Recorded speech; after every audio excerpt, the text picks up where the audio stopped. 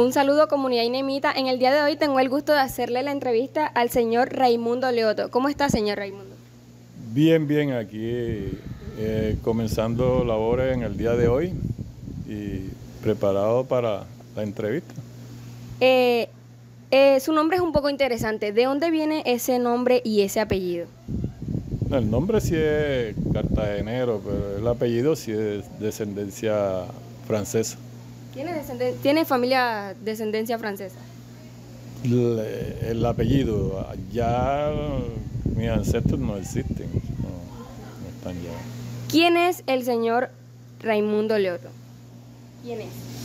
A ver, yo soy en este momento eh, almacenista aquí en manejo el almacén del Colegio INEN.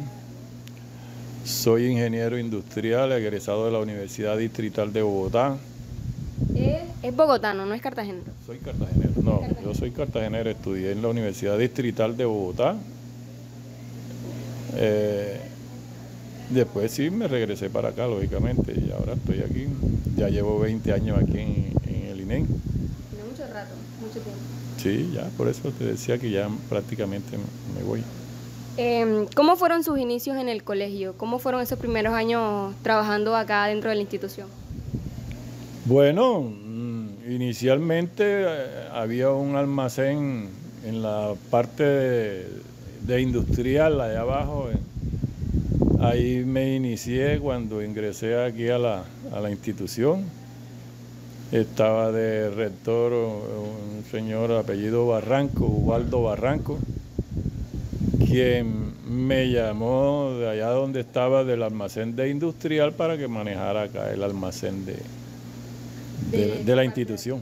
Exacto. Eh, ¿Qué nos puede contar acerca de cómo fue su niñez, cómo fue Raimundo de niño?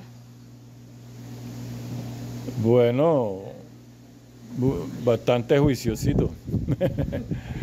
Yo estuve, eh, estudié en el gracias a Dios, en el Colegio de la Esperanza, un colegio privado, entonces pasé, estudié ahí primaria, bachillerato. Y terminado el bachillerato, pues me fui a Bogotá. Allá hice los estudios profesionales en ingeniería industrial, por eso actualmente soy ingeniero industrial. ¿Y eh, cómo pasó de ser, estudió ingeniería industrial?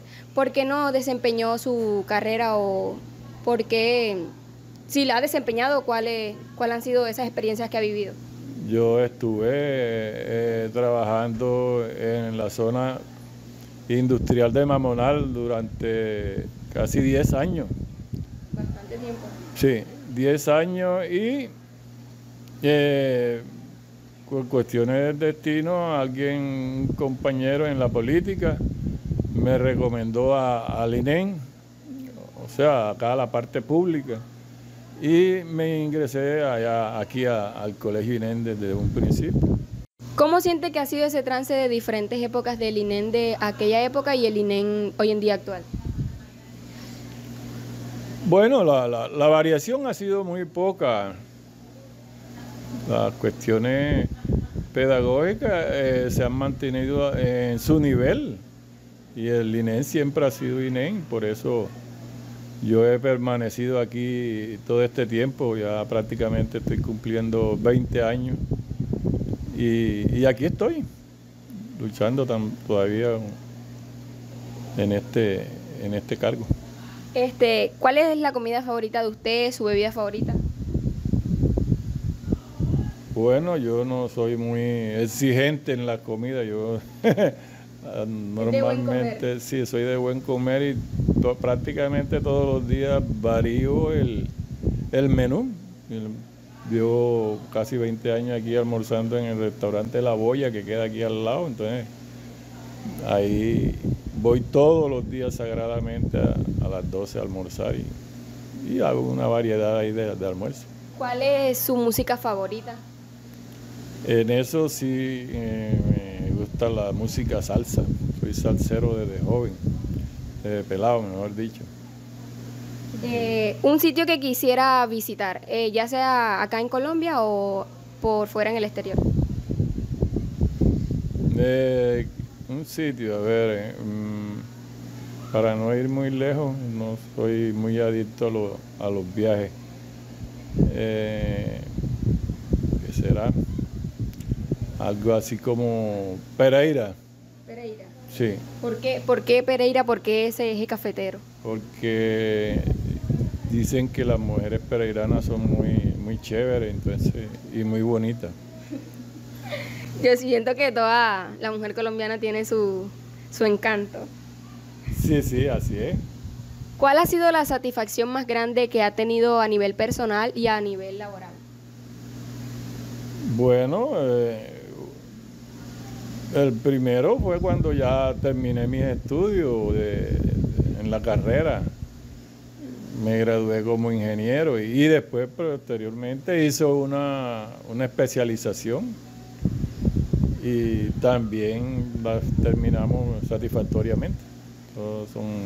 ¿Y a nivel personal cuál ha sido su mayor satisfacción? A nivel personal, por eso, esas son las satisfacciones más grandes que yo he tenido. La, eh, ¿Cómo está compuesta su familia? ¿Qué nos puede contar de su familia, de su entorno familiar? Mm, a ver, mi entorno familiar es bastante extenso de parte de, mi padre dejó alrededor de como 15 hijos con diferentes mujeres. Entonces somos casi 15 hermanos. y, pero en, mi hogar vivo con, con, tengo una hija con la cual ya tiene 20, 22 años y con ella estoy conviviendo y un hijo varón, pero él está en Chile ahora, vive en Chile, de otro hogar.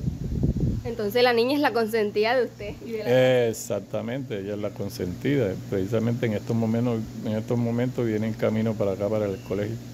Em, ahora que se va, ¿qué es lo que usted se lleva del INEN y qué le quiere dejar a las futuras generaciones que van a gozar de este maravilloso colegio? Bueno, que eh, el colegio tiene una calidad educativa que deben aprovechar todos los estudiantes que vengan aquí porque tiene buenos docentes y ahí es donde está la, calidad con que salen también los estudiantes, poner de su parte para que puedan terminar también su exacto y tener sus triunfos en la vida. ¿Qué se lleva usted del INEN? Tantos años que usted le brindó y que el colegio también le brindó experiencias, momentos inolvidables con compañeros. Bueno, esto, la, experiencia de haber vivido y trabajado aquí casi 20 años me deja una satisfacción enorme que eh, voy a recordar eh, esta institución por el resto de mis días. Eh, una satisfacción muy grande. ¿Qué mensaje le quiere dejar a esas generaciones que vienen o estas generaciones que siguen en el camino, en el transcurso de alcanzar el bachillerato, como quien dice? Que primero que pongan todo de su parte por salir adelante en, conseguir el título de, bachiller y, y seguir una carrera y no, no parar nunca de estudiar porque el estudio es, permanente, ¿no? uno nunca termina de estudiar, siempre hay algo un conocimiento que. Un conocimiento que adquirir más adelante, sí, exacto. Bueno, señor Loto, con esto terminamos la entrevista. Le damos gracias por todos los años brindados acá en la institución y por todas las cosas buenas y todo el trabajo que dejó acá en la institución a, que ésta sea próspera. Bueno, gracias a ustedes por, por esta entrevista y, y, espero que su trabajo también termine, tenga un feliz término. Muy amable. Gracias.